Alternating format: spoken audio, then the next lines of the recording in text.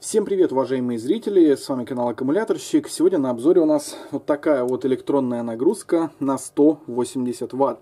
Да, я вам уже показывал электронную нагрузку Hidens на 180 Вт, та была старая версия, это такая средняя, то есть она претерпела небольшие изменения, в том плане у нас а, нету типичных крутилок, сейчас у нас вот такие вот кнопочки, тут цветной дисплей, но это все мы рассмотрим позже.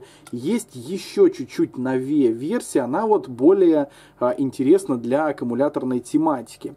А, дело в том, что здесь колодка, как мы видим, на два контакта, то есть плюс-минус подключаются. Э, мы этими же проводами грузим и по этим же проводам снимаем напряжение. А там идет четырехконтактная колодочка, она вот так вот установлена. А, вот этих вот разъемов на ней сразу нету на плате, они идут отдельно, как бы вставляются потом в эту колодочку. И по двум, получается, идет нагрузка, а по двум снимается напряжение, что более честно и адекватно при большой нагрузке, да, то есть когда грузится находится там 5-10 ампер и так далее. Комплектация. Что у нас идет а, по комплектации? Комплектуется вот таким вот питаловым. Здесь у нас такая вилочка с переходником на евро. Вот такой вот блочок питания, который питает а, саму нагрузку и имеет вывод вот такой вот подключается туда с тыльной части. Мы сейчас все разъемы там рассмотрим. А далее у нас идет кабель USB на micro-USB для подключения вот этой штуки к компьютеру. Да, это можно сделать. Дальше у нас идет вот такая вот термопара. То есть это датчик температуры, который подключается вот сюда у нас. И, соответственно, его можно подключить к измеряемому предмету. То есть, если это аккумулятор, то можно прикрепить там временно на скотч к аккумулятору или там как-нибудь его прилепить. Да, если это тест какого-нибудь блочка питания, можно к нему и так далее. Вся температура будет отображаться на дисплее. Ну и два вот таких вот скудненьких э, крокодильчика. Такие вот они маленькие. Ну вот мы сегодня будем пробовать вот такой вот аккумулятор чуточку поразряжать. А, для большого аккумулятора надо делать большие провода. Я уже все купил, осталось все это дело собрать, спаять и, соответственно, подключить в эту колодочку. В прошлой версии а, колодка была как-то поинтереснее. Туда, в принципе, в аккурат входили кулоновские провода. Кулон 912, без всяких на то проблем я подключил, подключил большой аккумулятор и, собственно, можно было без всяких проблем грузить. Ну и также в комплекте вот такая вот инструкция. Инструкция здесь у нас с одной стороны на английском, а с другой на китайском и, естественно, как вы понимаете, русского языка не подвезли. Ну что ж, давайте рассмотрим сам прибор. Вот такой вот огромный кулер, он, э, кстати говоря, включается не сразу, то есть при маленькой нагрузке достаточно пассивного охлаждения вот этого вот радиатора. И только при большой нагрузке, когда температура повышается, соответственно, у нас вот это вот включается и э, светит таким ярким светом. На тыльной части э, мы имеем вот здесь вот разъем для подключения питания, которое питает саму плату. Э, по правой стороне мы имеем выход, то есть, ну, соответственно, можно использовать как проводник, да, и, соответственно, производить замеры, а, разъем для подключения к компьютеру и управлению через компьютер. С левой части у нас как раз-таки вот эти входные разъемы, ну, как я уже говорил, плюс-минус, дальше колодка для подключения термопары, а, вход а, круглый штекер, ну, наверное, 5.25, дальше мини-USB, микро-USB, Type-C. На лицевой стороне у нас спикер расположен, цветной дисплей, а, соответственно 4 кнопки управления, ну и где-то здесь еще также расположена платка Bluetooth, и то есть можно по Bluetooth подключаться к смартфону, но честно скажу, а, то себе еще удовольствие. Ну что ж, давайте подключаем и посмотрим а, интерфейс. Так, подключаю я в розетку, вот таким вот образом она тестируется, включается. И что мы видим, да, давайте рассмотрим вот этот вот дисплей. Э, на дисплее мы видим здесь э, что? Вот это вот установленный параметр, то есть это то, что мы с вами можем вот таким вот образом а, устанавливать. Дальше у нас режим разряда, его, конечно же, при желании можно сменить. Разряжать можно, то есть э, постоянной силой тока, потом дальше постоянным ну, сопротивлением, постоянной мощностью и постоянным напряжением. А, все, дальше у нас все это дело циклируется. Дальше мы выбираем время, то есть ограничение по времени. А, дальше мы выбираем пороговое напряжение, то есть если мы аккумулятор разряжаем, да, то там ну, 10,5 вольт, и он, соответственно, потом выдаст комплит. Ну, типа, все, условие выполнено, и дальше разряжаться не будет и устройство, соответственно, выключится. Ну и все. А здесь у нас показатели, которые у нас замерены либо рассчитаны. Да? То есть это какое сейчас напряжение, какая сила тока подается. А дальше у нас какая мощность, сопротивление, а, запас, э, емкость в ватт-часах, емкость в миллиампер-часах. Также здесь у нас время, да, сколько устройство разряжалось, а, температура. Дальше получается, ну, здесь время, а здесь у нас ограничение, да, какой параметр установлен, и, и температура устройства. То есть вот здесь вот температура внешняя, да, получается, то есть вот, ну, мы сейчас не подключили, э, это температура внешняя, это температура самого кулера. Ну что ж, э, по кнопкам, по кнопкам. А вот эта кнопочка у нас выполняет э, вот переход по значениям, то есть э, мы можем при помощи нее выбирать разряд, в котором будем э, увеличивать, э, соответственно, значение, либо уменьшать, да. Ну, разряд я имею в виду э, цифра из числа, если можно так выразиться. Вот, дальше э, кнопочка старт. Ну, сейчас, так как у нас установлен параметр 10,5 вольт, старт не запускается. Давайте мы уменьшим все-таки. Ну и на эту кнопку мы, соответственно, запускаем программу. Вот он у нас показывает юрек, то есть э, нету да, входного сигнала, нет входного напряжения. На эту же кнопку мы, соответственно, останавливаем. Если эту кнопочку у нас зажать, то у нас здесь еще открывается вот такое вот гигантское меню, а, перейдя по которому мы, соответственно, все, все это дело можем каким-то образом менять. То есть э, здесь у нас э, куча разных параметров, э, в том числе там сброс настроек, выход, очистить все параметры, да, туда установить какие-то ограничения, параметры, цвет, яркость дисплея, да, и так далее. Короче говоря, вот эти вот все параметры можно установить. Так, сбросим всю дату и теперь переходим на выход, и все, у нас обновилась, э, как мы видим, емкость, да, время и так далее.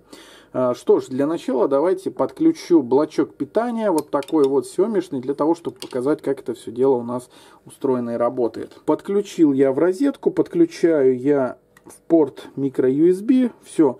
То есть сейчас у нас э, находится в холостом режиме, нагрузка не идет, у нас включен OFF да, режим. А, сейчас напряжение 5,1 вольта, нагрузку я задал, а, ну, например, 1 ампер. Мы запускаем старт, соответственно, сейчас у нас подается как мы видим, около 1 ампера. Здесь точность до тысячных, поэтому вот так вот все это дело скачет. То есть, если было бы округление, то есть два знака после запятой, соответственно, никакого бы вот этого прыгания бы не было. Напряжение у нас 4,8 э, и здесь в режиме реального времени можно добавлять, причем добавлять ровные какие-то значения и смотреть до какого момента она вывесит. Блочок у нас на 2 ампера максимально.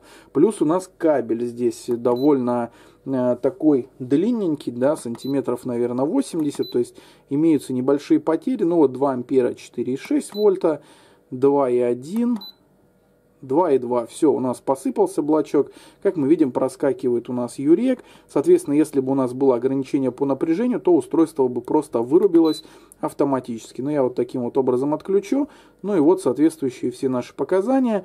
Ну и также здесь э, у нас вот накопились определенные данные, то есть миллиампер часы, время, да, сколько у нас э, проходил вот этот вот процесс. Для того, чтобы это все дело сбросить, нам необходимо опять же все это дело а, обнулить через меню.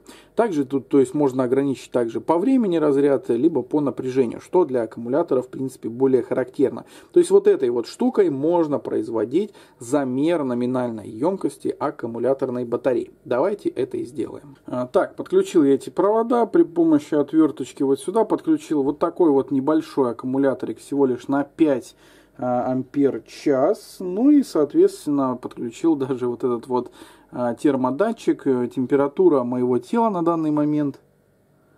Температура тела на данный момент мой составляет 34,7 градуса. Это вот здесь вот внизу, собственно, и видно. Ну что ж, давайте все настроим, обнулим и включим разряд. А, так, все подключили, произвел я настройку, грузить будем двумя амперами, все у нас обновилось здесь. А, конечно, это разряд не по ГОСТу, но для того, чтобы вам просто показать, как это все дело работает в упрощенном варианте. Ограничение напряжения 11,8, соответственно, устройство у нас вырубится. Ну что ж, э, запускаем и смотрим, как у нас все это дело заработает. Кстати, сразу же включился у нас кулер. Вот так вот подключу, можете посмотреть. Э, соответственно, у нас пошло время в обратный ход. Э, грузится у нас двумя амперами, соответственно, сейчас у нас 24,7 ватта нагрузка, да, ну и происходят соответствующие замеры, то есть считаются миллиампер часы, считаются ватт часы, ну и температура 25 с половиной градусов вот этого вот. То есть он никуда не подключен, но вот можно вот так вот сделать, сразу температура подскочила, стала 34. Ну и как будет у нас 11,8 вольта, устройство у нас выключится. По температуре, температура где-то внутри платы, то есть, ну я так понимаю, где-то около кулера порядка 30 градусов Цельсия. Вот здесь вот указано и вот здесь вот у нас считается время. То есть сколько времени у нас на это все дело зайдет. То есть вот такое вот устройство. В плане замера емкости аккумулятора я считаю, что вполне себе адекватная вещь за адекватные деньги. Ну давайте сейчас будем по чуть-чуть прибавлять, э, посмотрим, что и как у нас, соответственно, работает. Так, э, буду по чуть-чуть прибавлять. Давайте ради интриги, то есть, э, получается, десятые, десятые доли по чуть-чуть будем добавлять. И, соответственно, кулер начал чуть-чуть поактивнее крутиться. Таким вот образом. Нам надо, чтобы, получится, как только напряжение, вот этот вот параметр достигнет вот этого параметра, устройство у нас вырубится. А, получается грузить 180 ватт, если у нас номинальное напряжение, но номинальное 12 вольт, да, но фактическое практически 13 вольт, но 180 поделить на 13, то есть это больше 10 ампер грузить можно точно, но вопрос в том, выдержит ли вот эта вот колодка, как она здесь припаяна, да, то есть в этом соединении будет у нас температура большая. Также нужны хорошие проводники, чтобы замерять, но в целом меряется 1,20, то есть для 60 ампер час это всего лишь 3 ампера. Соответственно, для сотового аккумулятора да, 100 ампер час это 5 ампер. Я считаю, в принципе, вполне себе адекватные показания. 5 ампер без всяких на то а, просадок, моментов выхода из строя данное устройство вполне себе может отдать без всяких на то проблем. Так, продолжаем мы грузить, продолжаем грузить. Ну и когда оно уже у нас провалится. Кстати, проводки вот эти. Проводки пока что не нагрелись. Я думал, честно, они нагреются, но нет. То есть тут проводки такие, видимо, потолще используются. Так, просадка уже 12. Но обратите внимание, что крепкая банка, она довольно старая, но тем не менее нагрузочку-то еще держит, да, не сдается старичок, маленький аккумуляторик. 4 ампера. 4.1, 4.2, 4.3. Держит 12 вольт. Так, 11.9. Просадка идет. Кстати, клемки, ну клемки тоже такие тепленькие. Не горячие сильно. 4.7, 4.8. Но осталось чуточку. Осталось чуточку. 5 ампер. Вот 4.8. Ну сейчас вот вот-вот устройство должно у нас отрубиться. Добавляем, добавляем. Офигеть, 5,7, почти 6 ампер. Живой аккум, все. То есть вот когда у нас достигнет вот такого параметра, устройство у нас покажет комплит и вырубится. Соответственно, сейчас току подаваться лишнего не должно, не будет. То есть аккумулятор дальше не разряжается. После этого мы там нажимаем ОК, и оно у нас выключено. В режиме OFF находится, и мы можем отследить параметры. Да? То есть если это был бы замер 20-часовой емкости, то есть оно вырубилось бы по напряжению, и потом бы мы бы подошли и смотрим. Соответственно, вот здесь вот у нас накоплены милли, миллиампер часы, а здесь, соответственно, ватт часы, ну и так далее. То есть вот, вот таким вот образом данное устройство можно использовать для а, проверки, для а, замера емкости аккумуляторной батареи. Маленькой, большой, в принципе, практически любой. Так, ну и небольшие контрольные замеры. А, посмотрим, что и как, в принципе, он у нас показывает по точности. Запускаем нашу нагрузочку, грузим 3 амперами, вот этот вот аккумуляторик. Ну и замеряем напряжение. Напряжение, так, здесь все у нас установлено. Давайте померяем вот на этих вот выводах, получается, да, 12, 18. 12-15, вот, 12-15. Ну и обратите внимание, что вот здесь вот у нас как раз было 12-15 на этот момент. Ну и давайте посмотрим. То есть а, берется вот с этих выводов напряжение, показывает правильно. Ну и давайте замерим вот здесь. Что у нас показывает? 12-20. То есть на аккумуляторе у нас по факту чуть побольше. Да, то есть, ну вот сейчас сколько? 12, 19, 12, 20. А здесь у нас э, получается на 8 сотых на 8 сотых на аккумуляторе больше, это говорит о том, что по сути аккумулятор можно будет еще чуть-чуть подразрядить. Но сейчас нагрузка 3 ампера. А, Все, опять же, упирается в качество проводников, да, то есть какой толщины вот этот кабель, какое у нас вот здесь соединение, какое у нас вот здесь соединение, то есть э, чем больше нагрузка, тем тол толще должен быть кабель, тем лучше должны быть вот эти крабики. Ну и давайте померяем, э, сколько у нас идет нагрузочка. Нагрузочка при помощи токовых клещиков. Вот так вот аккуратненько. Так, это токовые клещики, такие, сразу говорю. Так, три. Ну, что-то какие-то помехи, помехи дает. На этом 2,8, на этом 3. Давайте померим контактным путем. А, так, давайте померяем силу тока контактным путем. Опять же, проводники вот здесь вот в щупах мультиметра такие себе. Поэтому может быть какие-то так. Все сразу упало из-за того, что у нас плохой проводник. При помощи токовых клещей померить не смог, потому что это э, дешманские клещи, и там на них много дается помех э, и, и прочих вещей. То есть они более-менее точно показывают только на больших токах. Но давайте я уменьшу уменьшу, ну, один хотя бы ампер поставим, для того, чтобы оценить, ну, 1 ампер, обратите внимание, 1 ампер, то есть здесь у нас 1 ампер ровно 0,99. Ну, если была бы еще здесь, наверное, девятка, да, там по методу округления, короче говоря, э, точно, точно. Ну, плюс еще здесь потери идут на кабели, на соединениях и так далее. Давайте, ну, попробуем чуть-чуть поувеличивать, э, посмотрим. 1,1, раз, сразу скакнуло. То есть, в принципе, по нагрузке 1,19 все четенько. 1.29. То есть здесь 1.3, 1.30, 1.29. То есть все четенько, но опять же не, небольшие погрешности стоит делать. Ну вот, видите, да, четко 1.6, 1.7, ровно. Все ровненько. То есть при замере контактным путем все ровненько. 1.8, 1.9, 2, Вопросов нету, вопросов нет, все четенько. Опять же, то есть, э, вот какой проводник у нас в щупах там и так далее, на это тоже необходимо сделать погрешность, но в принципе, в принципе я доволен, в принципе я доволен. Э, по показатели вы видели сами прекрасно, то есть как и по э, напряжению все четенько, так и по силе тока. Но повторюсь, вот эти вот клещи, это, ну, сами понимаете, ну вот такое вот устройство по, в принципе, по всем параметрам вы его видели прекрасно. Что можно при помощи него замерить? А, аккумуляторные батареи на замер по емкости видели, да, я вам показал. Можно, конечно, это я просто показал в ускоренном варианте, можно и 20 часов гонять, и сколько угодно.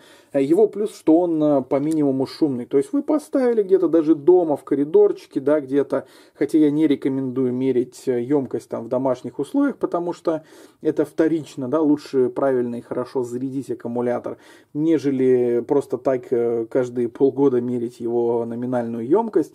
Вот, э, можно замерить, соответственно, вот проводки, какие у вас есть, померить, как они пропускают. Вот такие вот блочки. Соответственно, все, что там прикуриватели и так далее, все, что можно вывести на Type-C, micro-USB, mini-USB или вот такой вот э, выход, да, круглый, то, соответственно, можно проверить абсолютно все. Также можно, соответственно, замерять емкость. Также можно мерить емкость э, пауэрбанков. Я вот хочу замерить карку, пос пос посмотреть, сколько он выдаст. Но, опять же, там честнее мерить, то есть снимать напряжение э, непосредственно с USB разъема, но там потому что идет потеря на кабеле, по-любому супер качественный кон не был, э, все равно потеря имеется, то есть а мы в конце кабеля можем только снимать как напряжение, так и силу тока, поэтому отсюда можем иметь вот такую вот погрешность.